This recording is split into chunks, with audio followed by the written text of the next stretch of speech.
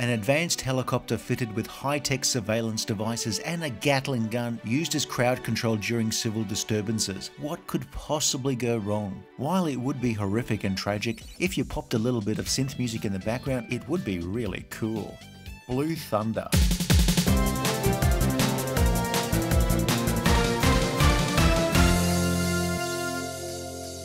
And the moral of this story is if you're walking on eggs, don't hop.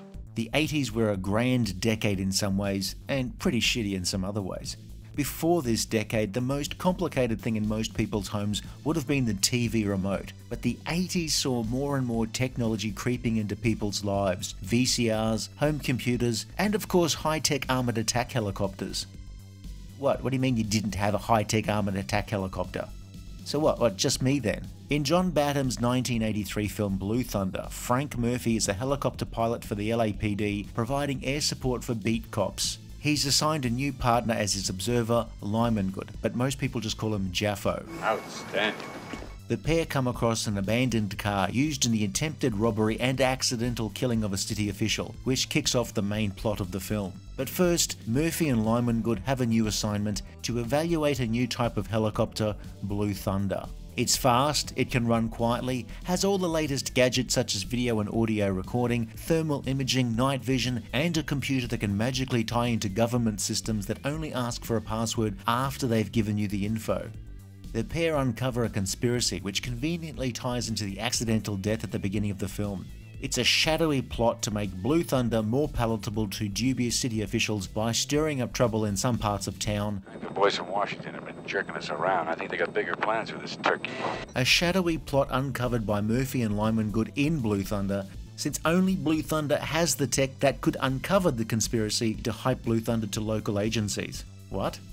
Lyman Good records the conspirators chatting away, incriminating themselves, but is killed, with Murphy turned into a scapegoat. Murphy's on again, off again girlfriend has to race across town to deliver a tape of the meeting to a TV reporter with Murphy running interference in the stolen Blue Thunder. The tape is a state of the art storage device, basically a 3 quarter inch U-matic tape, which in the 1980s is probably what they used at your school to show you videos like It Came From the Dank, a health education video warning about the dangers of pubic lice. Murphy, who has occasional flashbacks to his days in Nam, runs into an old rival, Cochran, now Colonel Cochran, who, surprise, surprise, turns out to be part of the conspiracy. Cochran, being the twat that he is, has an annoying signature catchphrase.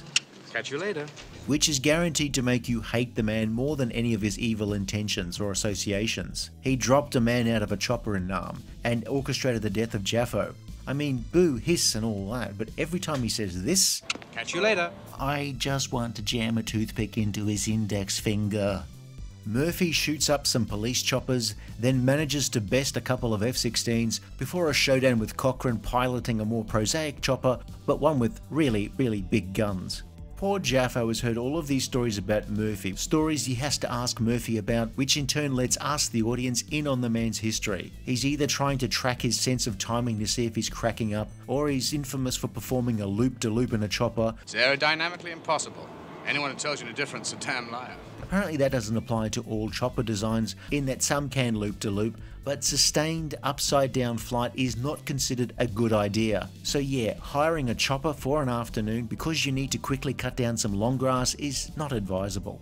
Murphy is almost a bingo card for the 80s action protagonist. Vietnam vet, has a hint of PTSD, people think he's crazy, he gets saddled with a rookie partner, he has a love hate relationship with his hard ass boss, lives by himself in very modest surroundings, has an on again off again relationship with someone who's quite understanding despite his bullshit. Well, I guess that makes that official. At least one partner is violently killed, uncovers a conspiracy by some authority types working for their own ends, is a loose cannon, and is the only person who can perform something that's thought to be impossible. Come on, you of shit!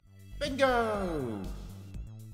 The film's background theme is one of privacy and surveillance. Who doesn't love surveillance and invasion of privacy when it suits us, but hate it when it impacts on us? Blue Thunder also likes to have its cake and eat it when the film shows our heroes perving on a. Yeah, no, I'm not going to show that on YouTube. The film was co-written by Dan O'Bannon, fresh off Alien, with friend Don Jakoby, who apparently wrote the bulk of the film. The original concept was more along the lines of Frank Murphy being a taxi driver style misfit who goes nuts and runs amok through downtown LA in a helicopter gunship. Columbia and director John Badham wanted something a little more fun, so Murphy's psychotic nature was dialed right back and the conspiracy angle added. You can still see leftovers of Crank Frank in the finished film. With thousands of rounds of ammo let loose, the film still manages to keep its body count really low. Blue Thunder itself only causes one actual death, Cochrane. But remember this? Catch you later. Bastard had it coming. John Badham had made films in many genres, but his more notable films included Saturday Night Fever, War Games, Short Circuit, and Stakeout. But Blue Thunder was his big action piece. It's a really well made film without a lot of the mean spirited hysteria exhibited by so many 80s action films. The effects are pretty seamless, unnoticeable by most viewers. It's lit quite nicely, important for a film that involves so many nighttime scenes. Roy Scheider was a go-to actor when you wanted someone to convey tough yet vulnerable. He'd already played a few cops in things like The French Connection and Jaws, but managed to make each of them different. But more importantly, Scheider makes his characters likable, even when they're a maverick like Murphy. 1980s Roy Scheider manages to make you feel like this is a man who's seen some shit in his time. For someone who works the night shift, he's remarkably well tanned, and sometimes you just want to crack the secret of time travel just so you can travel back to when Scheider was a boy and give him a wide brimmed hat. Hey, Jaffo, how's it What, going? what is this Jaffo shit, though? Look up. What's Jaffo? Look mean? down. Look left. Montoya. Look right. I said, don't worry What is about it. Jaffo? Daniel Stern is perfect as the nerdy noob Lyman Good. He's so likable when he dies, that just plain sucks. I had 20 years in this outfit when your idea of a big time was sitting in front of the TV tube, watching Bugs Bunny, and gnawing on your fudgesicle. Warren Oates, in one of his last roles, had a way of owning his dialogue. He's a quintessential hard ass 80s cop boss. You bozo. How many regulars come in the front door with a key?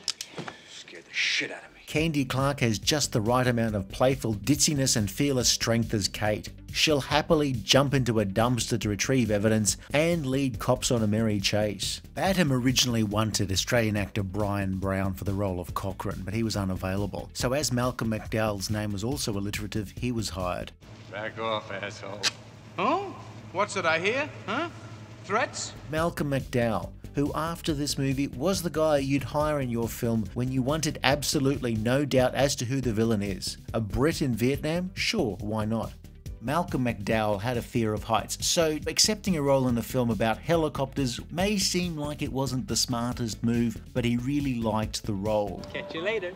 Of course, the star is the helicopter. For the film, they built two working choppers with custom bodywork. The angular looking craft contrasted nicely with the sleek look of a standard civilian and police chopper of the time. The actual movie version was much heavier than the donor vehicles and about as nimble as the main character in the short lived series Parkour Rhino. The film used every trick in the book to make the chopper work, filming the cast in a static chopper set on top of a building, a little process work here and there, models, and radio controlled choppers.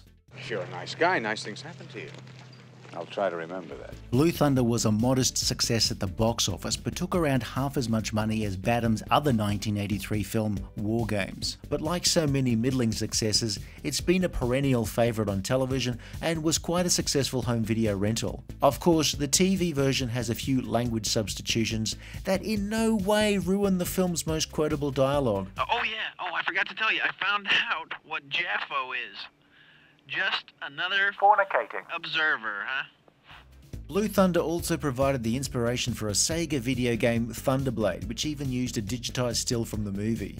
Blue Thunder didn't kickstart a wave of movies about high tech vehicles, but television was already on the case.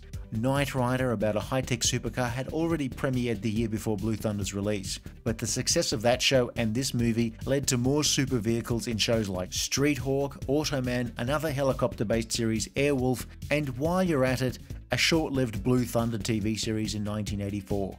You can run, but you can't hide. Joe Louis. That's very good. That's what I mean. Blue Thunder was a film that's so very, very 80s, but mostly in a good way. It's got a good script and direction, nice action, and a great cast. It's definitely one for the 80s throwback movie and pizza night. Catch you later.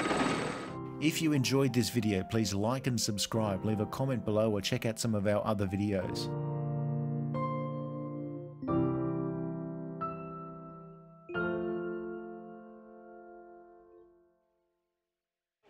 You know, he checks his sanity with his wristwatch. What do you check yours with? A dipstick?